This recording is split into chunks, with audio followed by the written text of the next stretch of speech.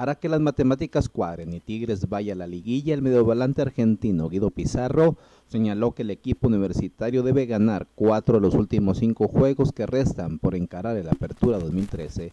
Añadió que esta vez ante Atlante espera no dejar escapar la oportunidad que se presenta como sucedió ante Toluca, escuadra que arrebató a los felinos el triunfo en el volcán. Tenemos que empezar a ganar para, para aspirar a, a clasificar. Recordábamos que antes del partido con Toluca tú bien mencionabas que pues, era necesario ganarnos, no se dio y yo me imagino que ha crecido todavía su urgencia. Sí, cada vez más, creo que cada vez las chances son menos y esperemos no dejar pasar esta, oportunidad. El partido del fin de semana va a marcar si estamos para, para seguir teniendo chances y esperemos que, arranquemos a ganar, que el equipo vaya mejorando en la confianza y, aspirar a ganar todos los partidos, que es lo que necesitamos. ¿Y lo consideras que entonces es la última llamada por, para Tigres de cara a la liguilla?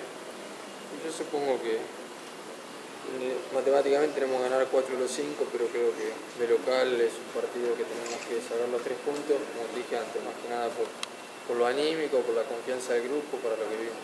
Pero en un partido de vida o muerte, ¿cuál sería la clave ante un rival como el Atlante que pues, es muy engañoso?